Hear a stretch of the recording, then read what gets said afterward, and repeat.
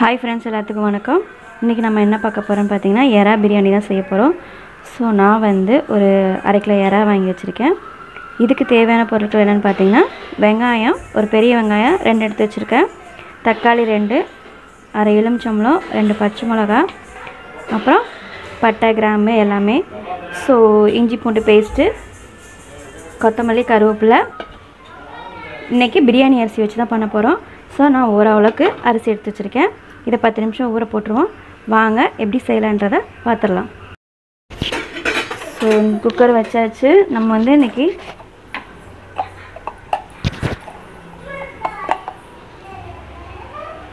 நான் நெய் சேர்த்துக்கிறேன்.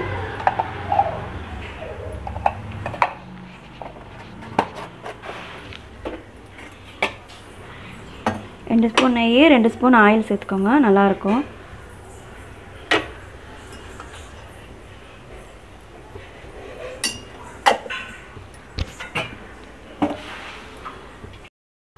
ஸோ எண்ணெய் நல்லா ஹீட் ஆகிடுச்சு நம்ம வந்து பட்டை கிராம்பு இதெல்லாம் சேர்த்துக்குருவோம்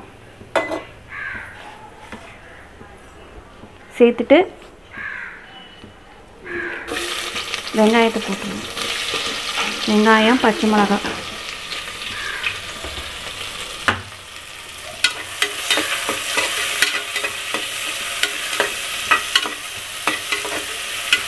வெங்காயம் கொஞ்சம் நல்லா வதங்கட்டும். வதங்கினதுக்கப்புறம் உங்களுக்கு காட்டும் ஸோ வெங்காயம் ஓரளவுக்கு நல்லா வதங்கிருச்சு. நம்ம இது கூட வந்து தக்காளி சேர்த்துக்கலாம்.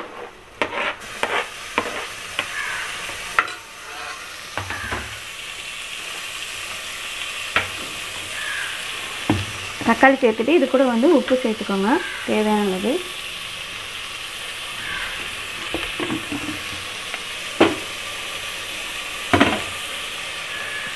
இது கூட இஞ்சி பூண்டு பேஸ்ட்டு. ஒரு ரெண்டு ஸ்பூன் சேர்த்துக்கோங்க.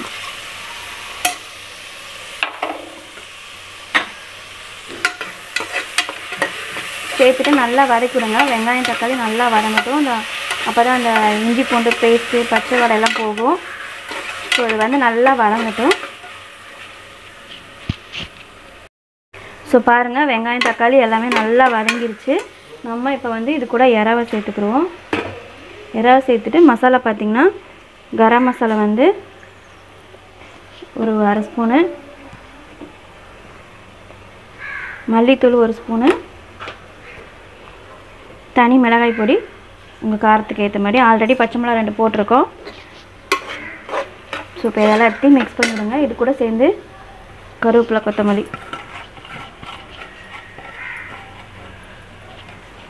கொத்தமல்லி புதினா.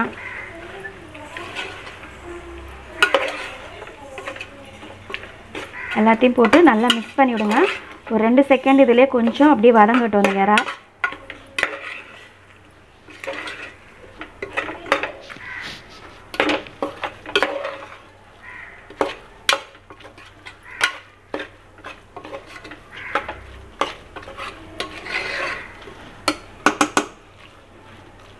இது கூட நம்ம எடுத்து வச்சிருக்கிற லெமன்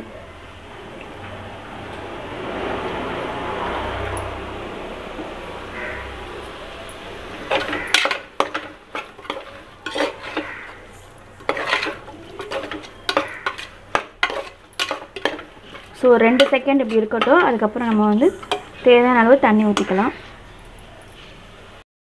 ஸோ எறா கொஞ்சம் நல்லா வதங்கிருச்சு. இப்போ நம்ம ஸ்டேஜில் நம்ம அரிசி தண்ணி எல்லாத்தையும் சேர்த்துக்கலாம்.